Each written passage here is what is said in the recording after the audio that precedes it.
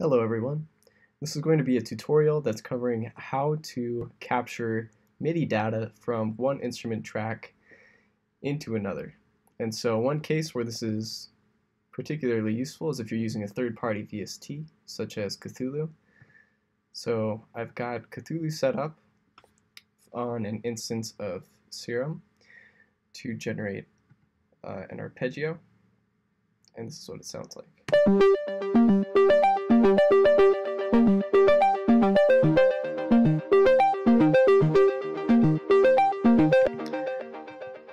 as you can see, we are triggering uh, this sequence of notes off of just a singular MIDI note being played inside of Bitwig. And so if we want to actually be able to manipulate and use the MIDI notes that are being generated by Cthulhu, one way that we could do that is just by creating an instrument track.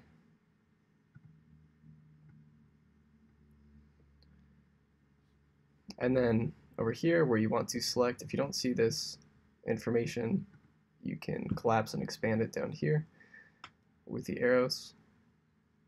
And then we want to find this instrument track that's running this instance of Serum. So under group one, we're just going to go to that top instrument.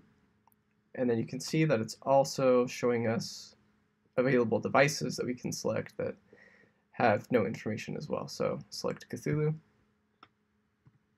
And then you want to arm that instrument track for recording. That is very important. And then you just go ahead and hit record, and it's that easy.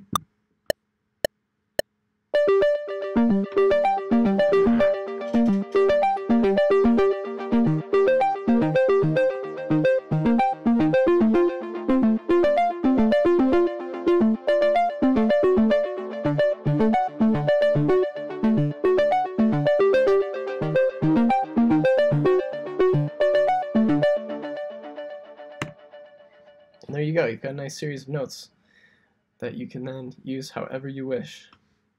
Thanks for watching, and I hope this was informative.